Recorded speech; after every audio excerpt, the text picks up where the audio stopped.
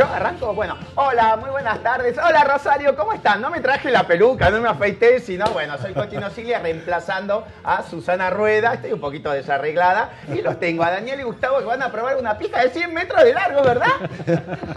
La- bueno, el domingo la más Ponele. grande de ¿Cuándo es eso? El domingo, el domingo la más ¿La probaron no, no, pero bueno, siempre es la primera vez. Bueno. No hay que, no hay que escaparse de esas cosas. Alguna vez siempre Bueno, no sé, me dijeron que los reciba yo. Sí. Bueno, ahora recíbanme ustedes. Ay, ¿Qué tal? ¿Cómo está? Un gusto, Fabio. ¿Cómo va? Bien, muchas La pregunta gracias. sería. Che, ¿cómo- la primera vez que voy a comer eh, pizza con vodka. Viene es nuevo para mí. Es nuevo para mí. La pregunta sería. Bueno, ¿cómo estáis? ¿Cómo sentáis? Bien, bien, muy bien. bien. Bien, bien, bien. Listo para trabajar esta noche. Esta noche va a estar en McNamara con, no sé si es una suerte de antología de los últimos espectáculos Un que ha hecho. unipersonal con personajes mm, mayormente los más populares, Boluda Total, Peperino Pómoro, algún personaje nuevo que es Jorge, el marido de Cotino Siglia. Tengo una pantalla para ir, venir, cambiarme. Este, ya actué varias veces acá en, en McNamara, gracias Emma, que bueno, siempre me invita a participar, así que está ¿Pasa bueno. un, un día de tu vida sin que alguien por la calle no te diga algo respecto a alguno de los personajes? Meses. ¿Sí? ¿Pasa? Sí, sí, sí. Sí, sí, sí, sí. Ajá, a lo mejor. Ah, yo qué sé. Bueno, yo tengo el puesto de hamburguesa allá en San Isidro, en Buenos Aires, eh, que abre los fines de semana, viernes, sábado y domingo. Y hoy yo suelo estar bastante ahí. Sí. Este, el mayor tiempo estoy ahí. Este, y bueno, entonces la Ahí gente sí, sí. sabe que estoy, entonces bueno, estoy bastante en contacto con la gente que viene de todos lados a comer y a compartir un momento. ¿Cuánto hace que llevas ya el fat, el, El- fa- el food- Full track. ¿El qué? El full track. me, me salía el fast. Este, eh, dos años y medio ya casi. ¿Dos Va, años? más de dos. Sí, sí, dos años y medio ahora, sí. Ajá, está Sí, bien. que tuvo Lo una que muy pasa buena que promoción cuando salió. No, la verdad que La yo qué sé, yo empecé jugando, medios. Siempre me gustó la gastronomía, empecé jugando y se fue armando. Tengo un socio este, gastronómico, Diego, y, y bueno, empecé jugando con el carrito, que es una idea que tengo hace 10 años, ahora se pusieron de moda los, los food truck y, la- y las hamburguesas. También ahora pusieron una hamburguesería por cuadra, más o menos. Claro. Hace dos años y medio, cuando yo empecé a vender hamburguesas, nadie vendía. Pero bueno, se ve que fui un pionero y ya veía venir Bueno, la que se venía, bueno, que solo sí. íbamos a comer carne picada. y, Pero bien, digamos, el, el tuyo en ese sentido tenés, tiene el valor agregado de, de- de No, decir a dónde supuesto. es y quién está, ¿no?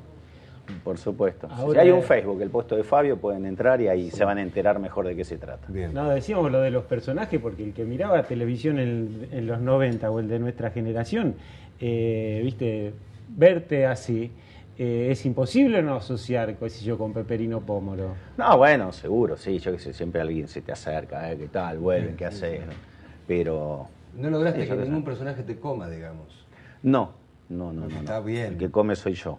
No, no, eso con, con los personajes. Sí, sí, sí. Pero viste que muchas veces ocurre que a veces después no sabes cómo sacarte de encima algunas cuestiones por ahí. No, no, para nada. no Pero sé. en ese sentido, Eh, siempre tuve la suerte, aparte de hacer lo que quise, digamos, en el ámbito laboral, en lo privado más o menos casi también, pero en lo laboral siempre pude elegir eh, mis proyectos y mayormente trabajé en, en proyectos míos, digamos.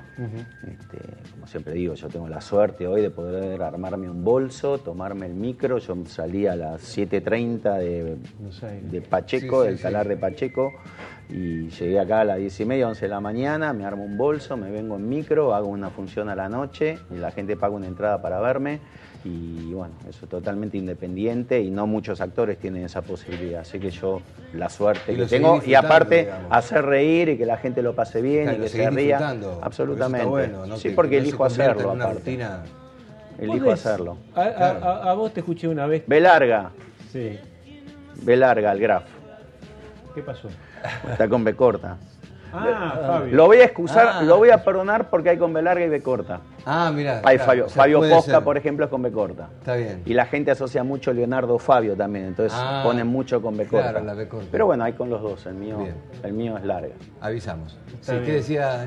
No, le estaba preguntando por el tema, me hacía acordar, eh, mencionando los personajes y demás, temas como de la cabeza y de cha cha cha. Yo te escuché decir a vos en reportaje, por ejemplo, que por algo la televisión no emite ciclos como fueron de la cabeza o cha cha cha.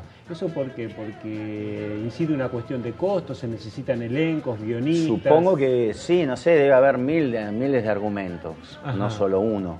Supongo que no- tampoco sé si sería posible volver a repetir eso que fue en un contexto y en un momento de la televisión, del país, de lo que quiera. sí, del under de ese Este, momento. y de nosotros mismos, que teníamos eso, del under que eran- 25 años menos.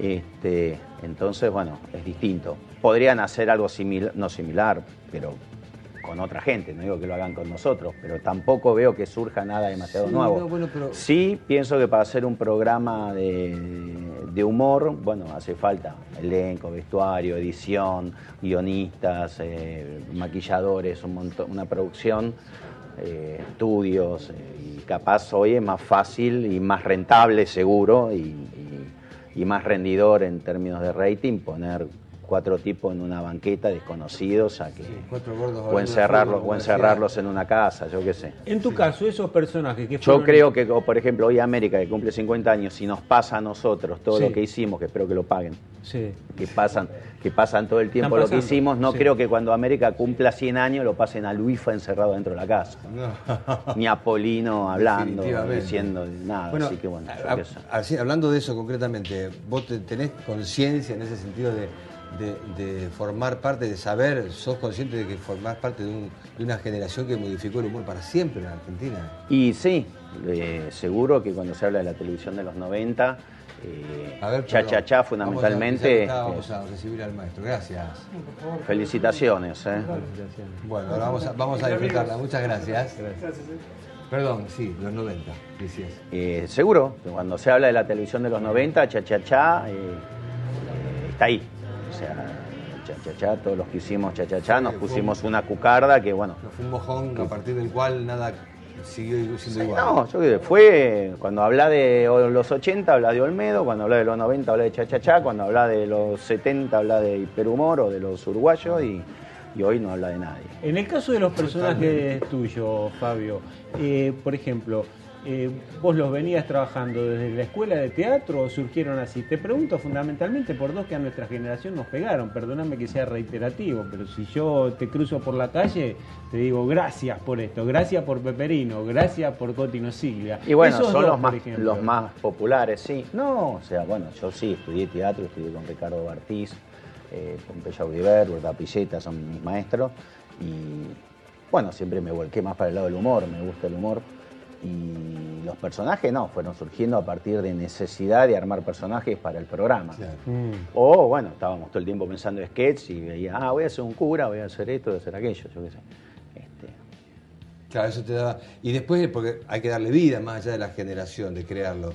eh, los referentes siempre fueron, digamos, el, el- el común, lo, lo que se veía habitualmente de un cura hacer un cierre de transmisión, digamos. Se Y alimentaba de alguna era- manera un poquito sí, pero no tanto de la realidad nuestra, sino que era más parodia de misma de la televisión. Cotino Siglia, una conductora de, de- de cable, porque en aquel momento aparte recién empezaba el cable. Claro. Y el cable era muy distinto a los programas de Y aire, eran de que- de diferentes. que siempre había uno que le bancaba el, cable- el Y programa. siempre a estaba una- el mito de que el marido sí. le había Sí, bancado sí, el programa. al amante o Este, bueno, hoy, hoy también pasa. Sí, un poco menos quizá, pero digamos. Ah, pero bueno, la suerte que tenés en ese caso es que te podés ir de vacaciones y dejar que el programa lo conduzca otro. ¿viste? Laburás cuando querés, eso es buenísimo. Bueno, Fabio, eh, para nosotros ha sido un, placer enorme tenerte. Este, Bueno, muchísimas gracias. Te, te pedimos perdón por la falta Me de. voy a dar un. de- No voy a tomarme vodka, todo esto, pero. Un toque de Este, vodka. pero ahora vamos a disfrutar la rica pizza que todos van a poder disfrutar el domingo a partir de las 12 cuando comience este, esta, esta finalización de lo que es la semana de la pizza en Rosario y por una buena causa que es este, a beneficio de Carita. Eh, más 100 metros de pizza, 20.000 empanadas, todo para este, darle una mano a los que más necesitan. Así que el domingo a partir de las 12 en el Monumento Nacional a la Bandera. Nosotros nos despedimos hasta el lunes y ahora con Fabio. Sí. Esta noche, Magnamar, a las 9 de la noche, Silvina viene a buscar eh, algo que tengo de parte de Mayra para Felipe. Ya está, clarísimo. Está. Un mensaje. Un gusto enorme. ¿eh? No, muchas Bueno. gracias. Chao, gente. Buen fin de semana largo. Nosotros volvemos el martes. Chao. Porque yo pasé por ahí y te vi. Ay, no más. Agarré y te pregunté, ¿cómo te andabas bien?